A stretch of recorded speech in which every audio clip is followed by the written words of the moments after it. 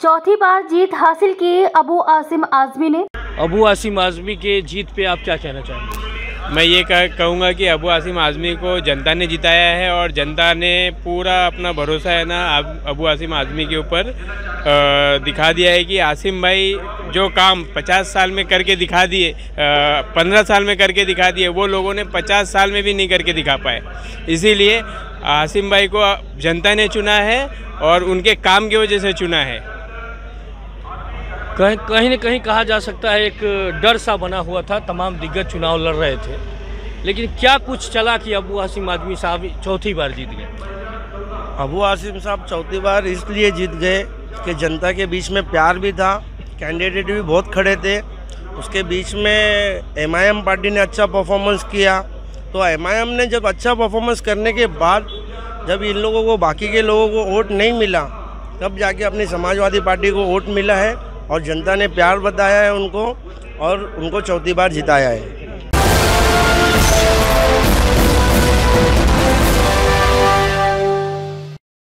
मुंबई के मानखुर्द शिवाजी नगर विधानसभा से समाजवादी पार्टी के साइकिल के बैनर तले चुनाव लड़ रहे अबू आसिम आजमी ने चौथी बरसर चुनावी जीत हासिल की। इस बार का चुनाव बड़ा ही मुश्किल भरा था। फिर भी मानखुर्द गोवंडी की जनता ने उन्हें चौथी बार सेवा का मौका दिया। इस मौके पर पीएमजीपी महाड़ा कॉलोनी मानखुर्द के लोगों ने क्या कुछ कहा, देखिए ये रिपोर्ट।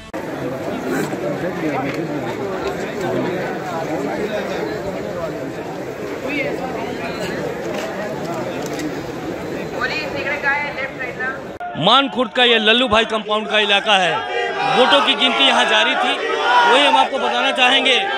लगातार जो चौथी बार जो एक रिकॉर्ड रहा है अबू हासिम आजमी साहब का, जो समाजवादी पार्टी के विधायक रहे हैं, आज चौथी बार जीतते हुए नज़र आ रहे हैं। अगर वोटों का प्रतिशत देखा जाए तो 2009 से जो लगातार लगातार जो देखा जाए, लगातार इनकी बढ़त हासिल रही है 2009 की बात करें या 14 की बात करें या 19 की बात करें, एक जो परसेंटेज जो होता है वोटों का, वो लगातार भारी मतों मतों से जीतते रहे हैं। वहीं आज चौथी बार इनकी जीत हो रही है। इस सिलसिले में तमाम लोग यहाँ उनके जो मानने वाले हैं, वो उनके बीच नज़र आ रहे हैं। ये नज़ारा है जहाँ अबू हसीम आजमी के जीत पर अप्रत्याशित भीड़ यहाँ इकट्ठा हुई है और चौथी बार उनकी जीत पर एक कहा जा सकता है कि जलसा दिखाई दे रहा है, जनमानस दिखाई दे रहा है, जो कि थमने का नाम नहीं ले रहा।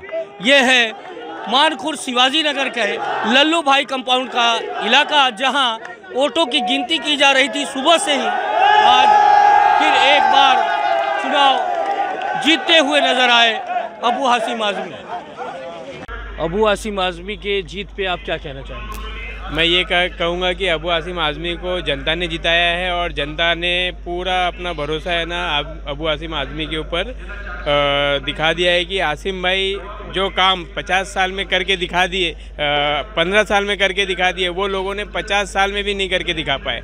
इसीलिए आसिम भाई को जनता ने चुना है और उनके काम की वजह से चुना है। कहीं कहीं न कहीं कहा जा सकता है, एक डर सा बना हुआ था, तमाम दिग्गज चुनाव लड़ रहे थे। लेकिन क्या कुछ चला कि अबू आसिम आदमी साहब चौथी बार जीत गए? अबू आसिम साहब चौथी बार इसलिए जीत गए कि जनता के बीच में प्यार भी था कैंडिडेट भी बहुत खड़े थे। उसके बीच में एमआईएम पार्टी ने अच्छा परफॉर्मेंस किया।